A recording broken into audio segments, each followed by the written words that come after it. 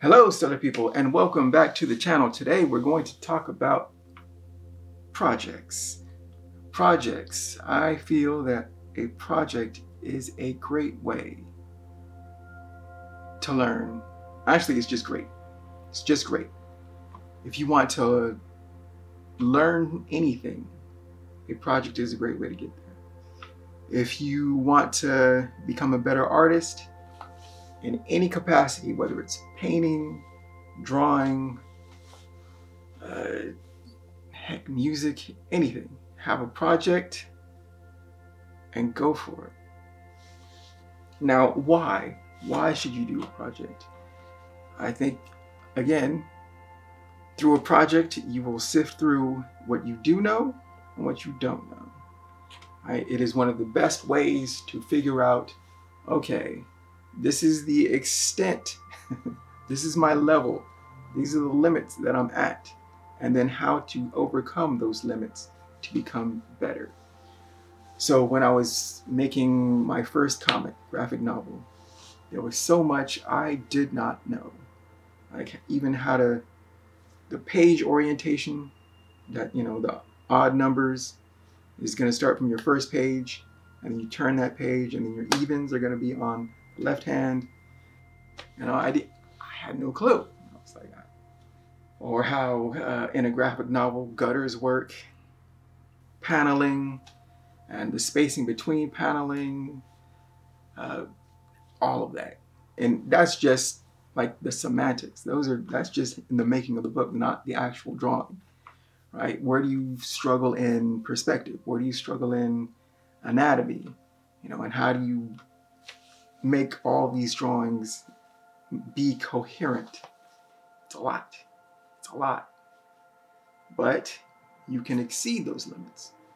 The internet, internet has a wealth of information at your fingertips, and I would say use all of that. But make a project. I want to do blank, right? Whatever that blank is, that's your project. I want to do, I want to make an animation. I want to make a graphic novel. I want to make a children's book. I want to produce an album, right? Whatever it is, that project, do it. I highly, highly encourage you to do it. I remember when I was uh, trying to learn watercolor. I, I wanted to learn watercolor. I have always been interested in watercolor, but it was scary, and I I knew I wasn't going to do it. I knew I wasn't, so I made a project for it. A project called The Moon Princess, and the Moon Princess was going to be 200 illustrations, right? And I was going to watercolor each one, and um, did 50 a year.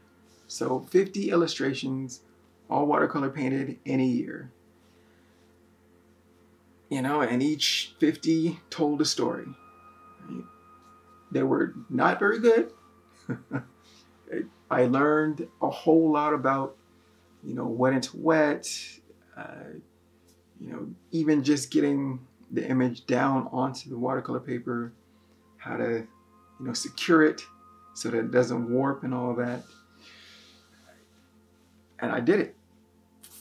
And that was a long-term project. That was 50 a year. For 200, that's four years. And that that is that was the project. And I did it. And at the end, not only did I have a greater knowledge and respect of watercolor, but I had something to show for it. I had a, a stack stack yay high of illustrations. Right? And I plan to bind that up and do something with it, but that was just to become better at watercolor. Just that was the, the whole point of the project. So for you, you want to do, uh, yeah, I highly encourage you. Now, a caveat in the beginning it's going to be hard. So hard. It's going to be, because again, you don't know where your limit is, right? You might have an idea, but once you're you're pressed, then you'll know where your limit is, and then how can you exceed that limit, right? Go beyond your limitations to do something, whatever that something is. But you're probably going to over over scope it. Please don't do that. Please don't do that because that's one of the best ways to quit. Once you you become so overwhelmed after learning that oh my limit is this and i have so much to do and then you'll you'll want to quit. Recommendation my advice is to make the project as small as possible right? As small as possible. Make a small small small little itty bitty project right? And once you get that under your belt once you get like if you want to make a, a comic book the comic book is 22 pages, but I'd say do a test of four, a four page comic, right? Just that's the lit. Then, you know, do your whole style, right? Take it to the max, see how long a page it takes you to do a page. How long does it take you to ink? How long does it take for colors? How long does it take to do the lettering? All of that, right? On a very small scale, very small. And after that, then you take a look at it and go, okay, I saw where my limits were. And once you see where your limits are, you can then try to exceed your limits. But start with something very, very, very, very, very, very, very, very small, right? Minimum viable product. MVP, minimum viable product. Just make the least of your first project and then make another project and then make another project. And after the third one, then you know where your strengths and weaknesses are, right? Your strengths, weaknesses, and you can you know how to circumvent, you know, some bad tendencies. Hopefully, don't make your first project and your magnum opus. don't, don't do it. Resist. Just MVP, minimum viable product, for your first project. Now, scheduling. Scheduling is important. Once you have that minimum viable product, break that down into how long do you think it's going to take? Right? And usually, usually on your first one, since you, you're, you're starting fresh, everything is new, everything is blank, it's probably going to take you three times as long. Three times as long. So a schedule, say five days a week, right? Let's leave our weekends off unless you want to do more. If you're that type of person, good job. Kudos to you. But sometimes, you know, if you have circumstances, say a family, kids, a job, hell, even just wanting to take a break, you know, kick your feet up. Try to save that for the weekend, but you never know what could happen. The worst will probably happen on this first project. Uh, your kids will get sick. Your wife will get sick. You will then get sick, which slows everything down. Now your schedule's off, and you're trying to get back into the schedule. But again, you're you're trying to recover because you need recovery time, and it's just a whole lot of stuff that will try to get into your way to stop you from doing whatever it is, right? And when you feel fear, you know, it's going to mess with you. we'll talk about that a little bit. But a schedule can try to keep you on somewhat of a track. And once you realize, okay, I can do an image in say an hour, you can make that the goal for the day, right? Just to keep, goal is to keep moving forward. So if you can do an image a day for say an hour, if you have more hours to throw at it, go for it. But sometimes all you got, is like, ah, with work, kids, family, all I have is an hour. It's like, make that your, your go to, make that your time to sit down and go for it. Now, again, fear. Whew, fear is going to get you because when you don't know what you don't know, fear is going to insert itself or try to insert itself into making you stop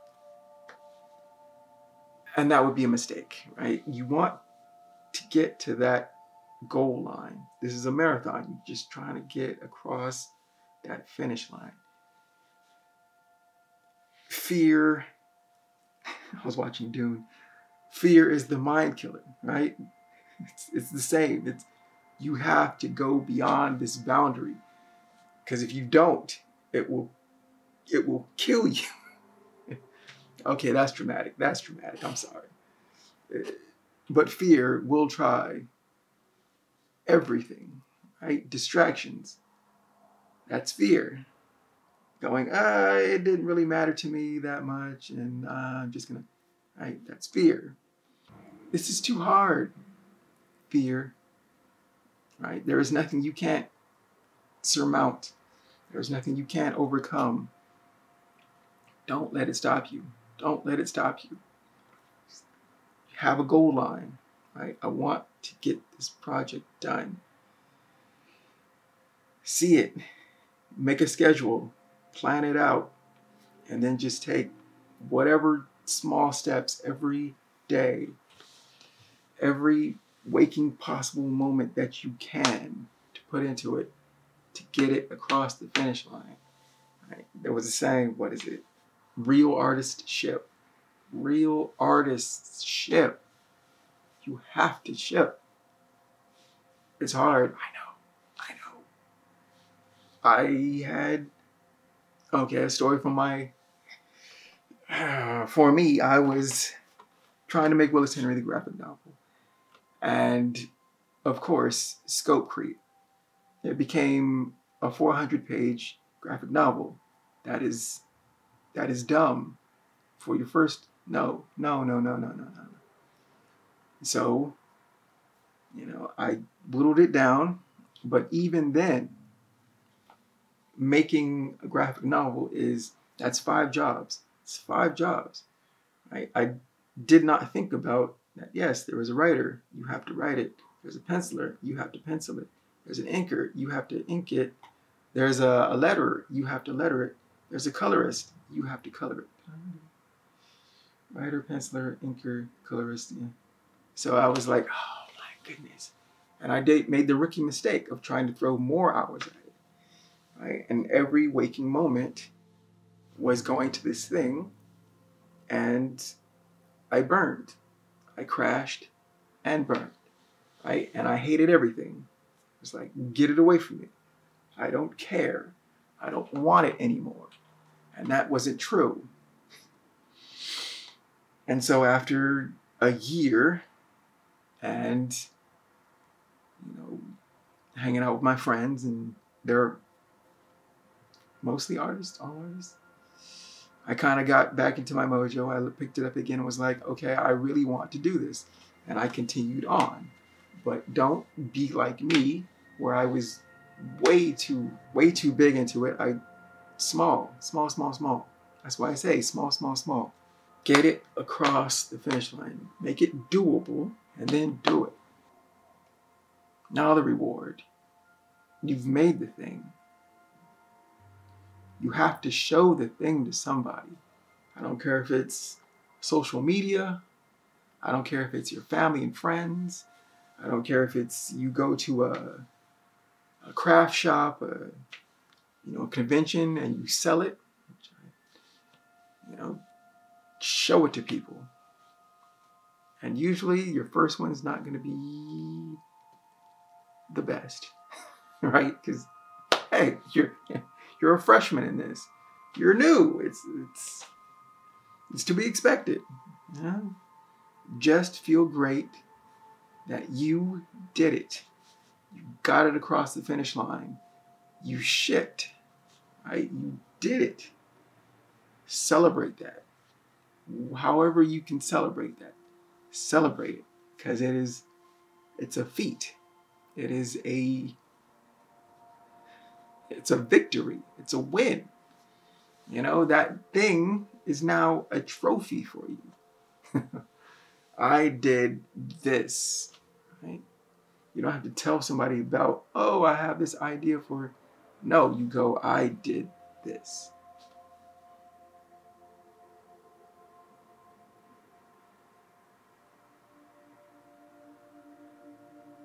Okay, so for example, mm, let's not talk about it, let's show it. I did this. I did this. It's the trophy. Is it great? Debatable. But did I do it? Yes. Yes, I did. But yeah. Right.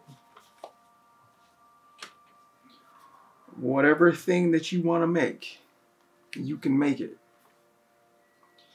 All it takes is some time, dedication. Hmm. But yes, it's a trophy. It's it's that thing that you dragged out of the ether. Might not be the greatest thing ever. Probably won't be. But you did it. You had a vision in your mind and you executed on that vision to make something that now exists in the real world, now exists, and you will come out the other side different.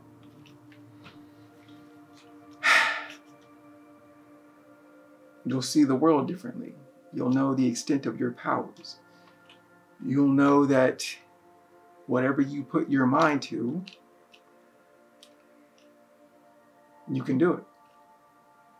And that is the greatest reward of having a personal project.